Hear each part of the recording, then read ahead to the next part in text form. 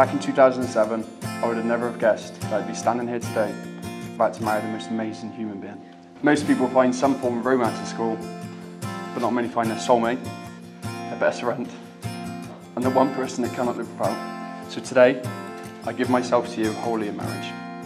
I promise to love you in good times and in bad, when life is easy or when sun runs high.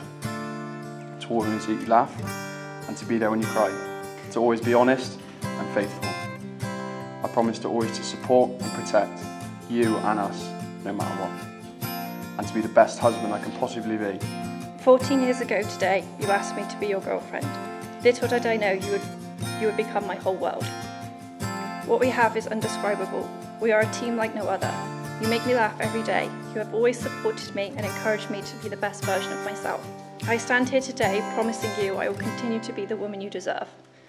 You make me feel safe, loved, and above all, you make me truly happy. You are a one-of-a-kind person. You know me better than I know myself. I promise to be loving, loyal, and honest to you always. I love you so much, I don't know what I have done to deserve you. You complete me in ways I didn't know possible. I promise to love you always. I promise to be there for you forever.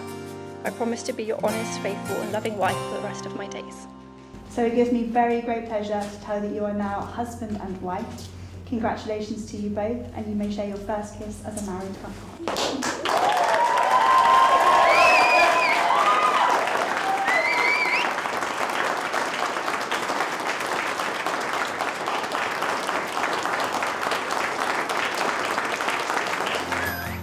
Fourteen years ago, this all began.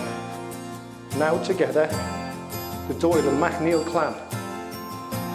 Hand in hand, you deserve to stand tall. We're proud of you so much. You're an inspiration to us all. This famous day, you've become husband and wife. From us all, we love you and wish you a most fantastic life. You both work insanely hard for everything you have. You both have jobs and careers that anyone would dream of. I will always cherish the times we spend together, the laughing, the crying, the weird games, the loving each other even though when we don't like each other. The reality is we're growing up and we're entering new and exciting stages of our lives.